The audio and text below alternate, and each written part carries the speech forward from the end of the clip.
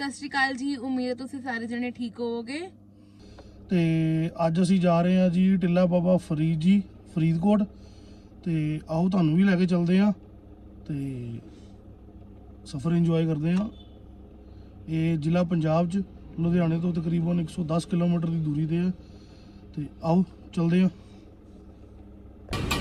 ਸੋ ਅਸੀਂ ਹੁਣ ਪਹੁੰਚ ਗਏ ਹਾਂ ਜੀ ਟਿੱਲਾ ਬਾਬਾ ਫਰੀਦ ਜੀ ਦੇ। ਦਰਸ਼ਨ ਕਰ ਸਕਦੇ ਹੋ।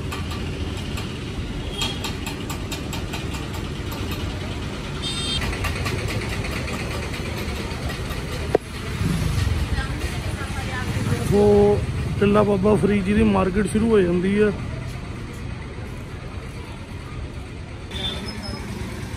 ਜੋ ਤੁਸੀਂ ਦੇਖ ਸਕਦੇ ਹੋ।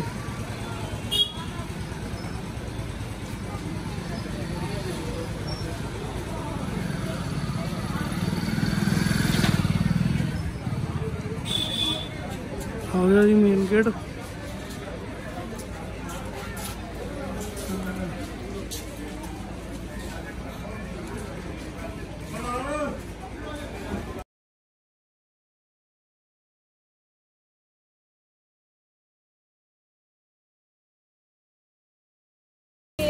ਚੱਕਰ ਮਿੱਟੀ ਹੁੰਦੀ ਹੈ ਤੇਜ਼ ਹੁੰਦਾ ਹੈ ਇੱਕ ਰੱਖਾ ਜੀ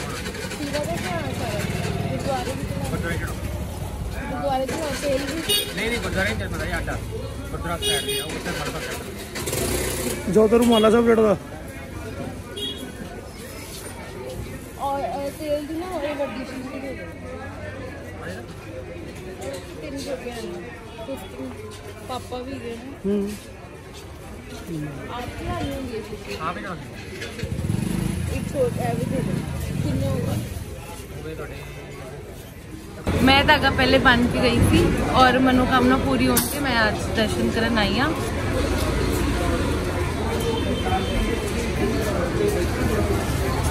ਮੇਨ ਗੇਟ ਖੁੱਲਣ ਦਾ ਸਮਾਂ ਜੀ।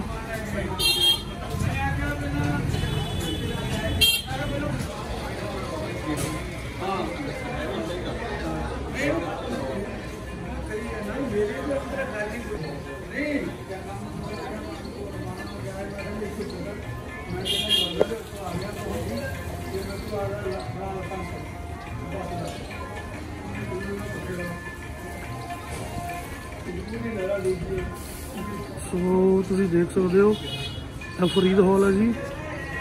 ਇੱਥੇ ਤੁਸੀਂ ਦੇਖ ਸਕਦੇ ਹੋ, ਇੱਕੋ ਹੀ ਛੱਤ ਥੱਲੇ ਮਸਜਿਦ ਵੀ ਹੈਗੀ ਆ ਤੇ ਗੁਰਦੁਆਰਾ ਵੀ ਆ। ਲਓ ਤੁਹਾਨੂੰ ਦੋਨੋਂ ਚੀਜ਼ਾਂ ਦੇ ਦਰਸ਼ਨ ਕਰਾਉਂਦੇ ਆ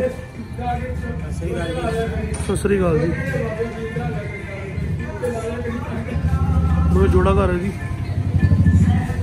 ਵਾਹਿਗੁਰੂ ਜੀ ਦਾ ਖਾਲਸਾ ਵਾਹਿਗੁਰੂ ਫਤਿਹ। ਸਭ ਤੋਂ ਵਧੀਆ ਜੀ। ਕੀ ਹਾਲ?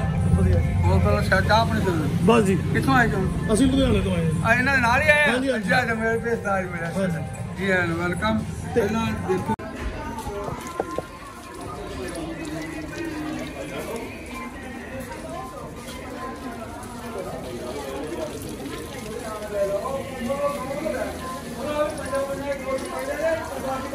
ਹਾਂਜੀ। ਵਾਹਿਗੁਰੂ ਜੀ ਕਾ ਖਾਲਸਾ, ਵਾਹਿਗੁਰੂ ਜੀ ਕੀ ਫਤਿਹ।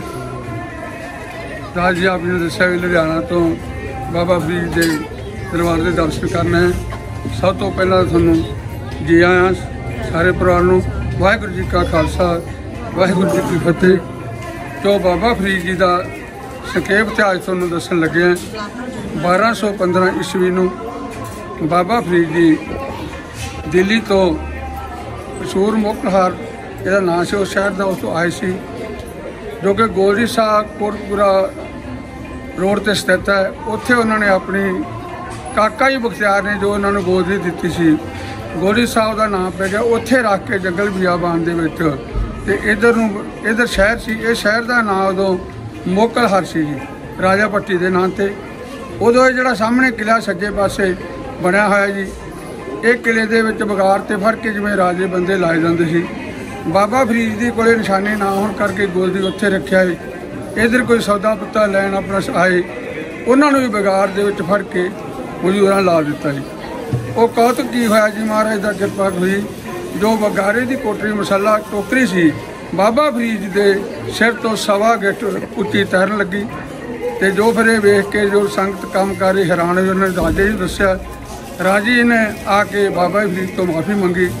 ਉਸ ਟਾਈਮ ਤੇ ਜੀ ਇਹ ਵਣ ਹੈ, ਇਸ ਦੇ ਨਾਲ ਬਾਬਾ ਫਰੀਦ ਜੀ ਨੇ ਆਪਣੇ ਹੱਥ ਪੂੰਝੇ ਜੀ, ਇਸ ਵਣ ਦੇ ਨਾਲ। ਇੱਥੋਂ ਮਤਲਬ ਬਾਬਾ ਫਰੀਦ ਜੀ ਨੂੰ ਜਦੋਂ ਉਹਨਾਂ ਨੇ ਕਿਹਾ ਜੀ, ਸ਼ਹਿਰ ਵਸਦਾ ਨਹੀਂ ਗਏ ਸਕੂਲ ਇੱਥੋਂ ਦਰਿਆ ਵਗਦਾ ਸੀਗਾ ਜੀ, ਸਤਲੁਜ ਦਰਿਆ ਵਹਿੰਦਾ ਸੀ ਇੱਥੋਂ ਨੇੜੇ ਜੀ। ਦੂਜੇ ਪਾਰਲੇ ਪਾਰ ਦੇ ਲੋਕ ਲੁੱਟ ਕੇ ਲੈ ਜਾਂਦੇ ਸੀ।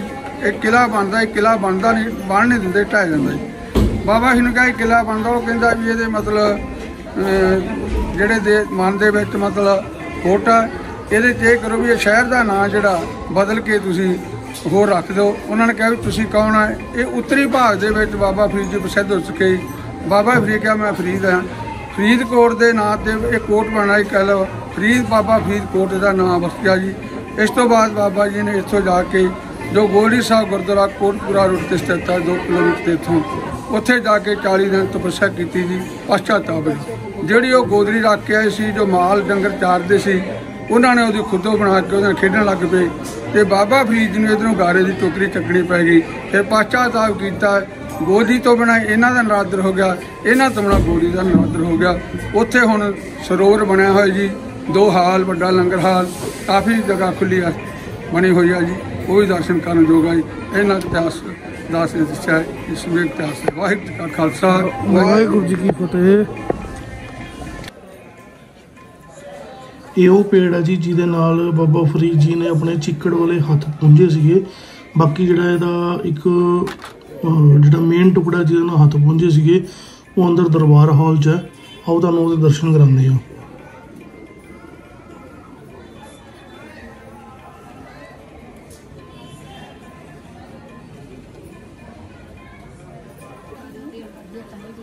ਸੋ, ਇੱਥੇ ਤੁਸੀਂ ਆਪਣੀ ਸ਼ਰਧਾ ਦੇ ਨਾਲ ਸਰੋਂ ਦਾ ਤੇਲ ਚੜਾ ਸਕਦੇ ਹੋ। ਵੈਸੇ ਤਾਂ ਘਰੋਂ ਲਿਆਉਣ ਦੀ ਲੋੜ ਨਹੀਂ ਹੁੰਦੀ। ਬਾਹਰੋਂ ਦੀ ਦੁਕਾਨਾਂ ਬਹੁਤ ਹੈਗੀਆਂ ਨੇ। ਤੁਹਾਨੂੰ ਇੱਥੋਂ ਦੀ ਮਿਲ ਜਾਏਗਾ।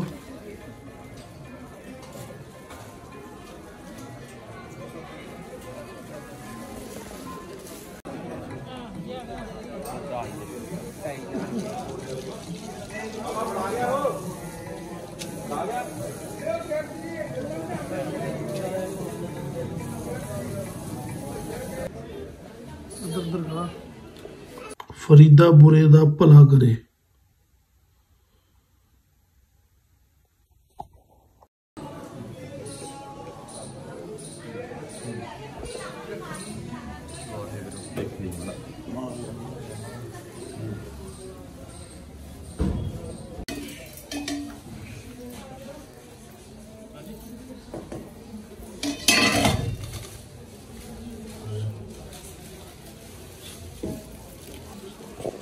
ਇਹ ਲੱਕੜ ਦਾ ਉਹ ਟੁਕੜਾ ਹੈ ਜੀ।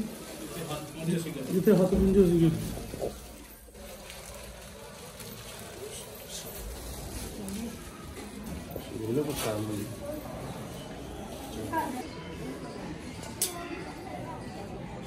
ਸੋ ਦਰਬਾਰ ਹਾਲ ਹੈ ਜੀ।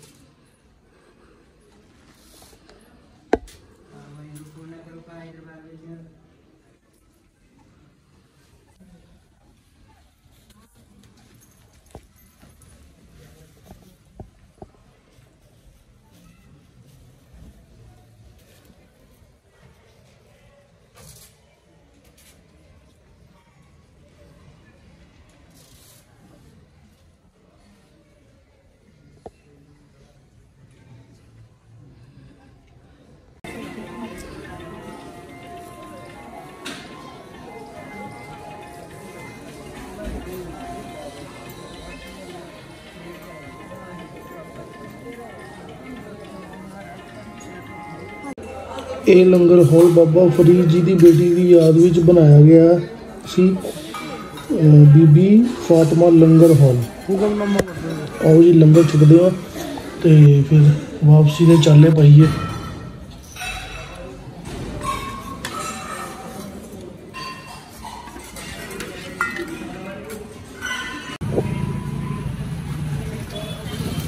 ਸੋ ਇਹ ਸਾਰੀ ਮਾਰਕੀਟ ਹੈ ਜੀ।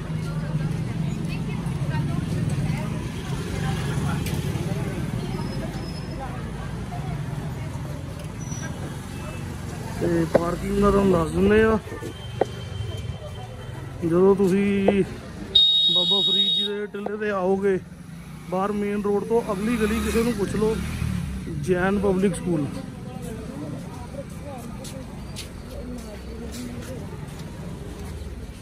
Jain public school ਵਾਲੀ ਗਲੀ ਹੈ ਉੱਥੇ ਤੁਸੀਂ ਜਾ ਸਕਦੇ ਹੋ, ਪਰ ਅੰਦਰੋਂ ਦੀ ਰਸਤਾ ਇਹ ਗਲੀ ਦੇ ਵੀ ਜਾਂਦਾ ਜੇ। ਸਿੱਧੀ ਜੈਨ ਪਬਲਿਕ ਸਕੂਲ ਦੇ ਕੋਲ ਹੀ ਆਏਗੀ।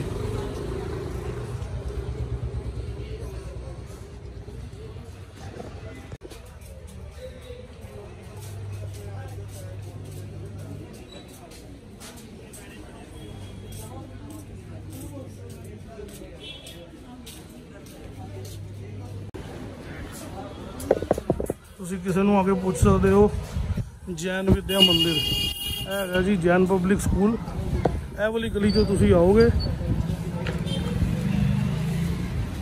ਇਹ ਜੈਨ ਪਬਲਿਕ ਸਕੂਲ ਆ। ਉਹ ਸਾਹਮਣੇ ਪਾਰਕਿੰਗ ਹੈ ਹਾਂ, ਭਾਵੇਂ ਉਹ ਸਾਹਮਣੇ ਆ ਜਾਓ, ਸਾਹਮਣੇ ਗੱਡੀ ਖੜੀ ਹੈ ਉਹਦੇ ਅੰਦਰ। ਮੈਂ ਹੁਣੇ ਬਾਹਰ ਕੱਢ ਕੇ ਲੈ ਫਿਰ 2 ਮਿੰਟ ਰੁਕੋ। ਇਹ ਸਾਰੀ ਪਾਰਕਿੰਗ ਹੈ ਜੀ।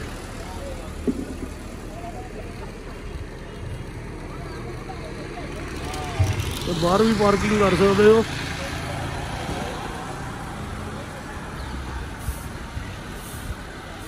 ਤੁਸੀਂ ਦੇਖ ਸਕਦੇ ਹੋ ਰਸ਼ ਕਿੱਡਾ।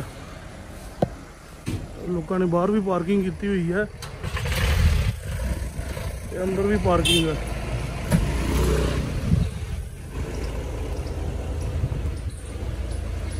ਇਹ ਪਾਰਕਿੰਗ ਹੈ ਜੀ। ਇੱਕ ਇਸ ਤੋਂ ਗਲੀ ਅੱਗੇ ਹੈਗੀ ਆ ਉਹਦੇ 'ਚ ਵੀ ਪਾਰਕਿੰਗ ਹੈ ਆਪਣੀ ਗੱਡੀ ਖੜੀ ਹੁਣ ਗੱਡੀ ਕੱਢਦੇ ਆ।